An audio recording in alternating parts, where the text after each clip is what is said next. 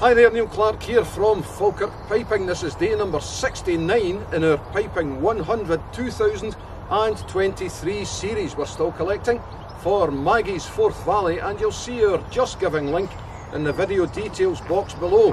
Today we're in Grandsable Cemetery which is in Polmont in Falkirk. If you were watching yesterday, we were down at uh, Grangemouth Aerodrome, or the entrance to Grangemouth Aerodrome, and we were by the memorial. I said, we'll go and visit some of these guys. Well, we're here. We're here to visit them. You saw some of them in the introduction, and we'll introduce you to most of them when we actually play the tune. We'll play Flowers of the Forest in this case, because I think it's uh, pretty apt. Um, I'll just give you a little bit of a story about how I know about these guys and how I uh, became involved. I was fortunate enough to be pipe major of a band in 1333 Grangemouth Squadron, which was the Air Training Corps in those days.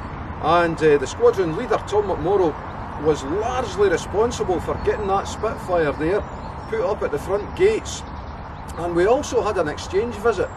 There are a lot of Polish pirate pilots, not pirates, pilots, remembered on the memorial and buried here in Grandsable and we were lucky enough after looking after a couple of the graves and making the memorial to actually be invited across to Poland by the Polish Air Force. I think it was about 2007 or so and the Spitfire's been up there forever now, it's just an accepted piece of the, the landscape but there was a lot of work and money went into that by the squadron, by the staff and by local councillors.